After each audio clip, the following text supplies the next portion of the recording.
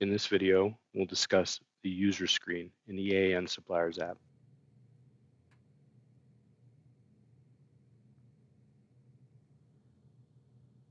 Company administrators have access to the user screen.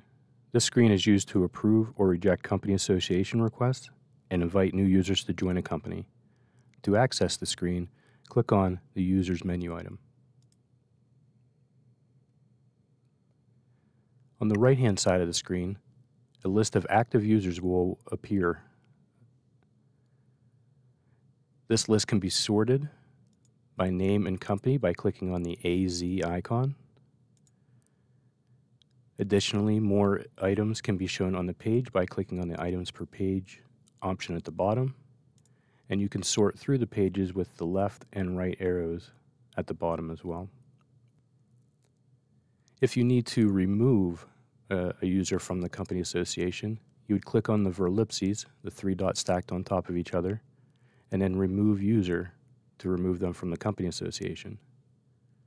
If, they, if you want to add them to an additional company, click on Add to Additional Company instead. Across the top, there are three options, Active, Requests, Rejected.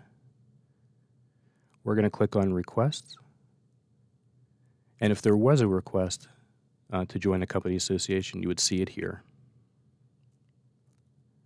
Lastly is the Rejected option.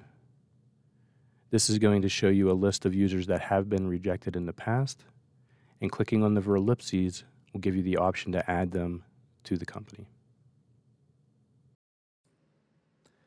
That concludes this video at this time. I want to thank you for taking the time to view it. Be on the lookout for more uh, of these videos to appear on our YouTube channel as we build them. Thank you again. Have a great day.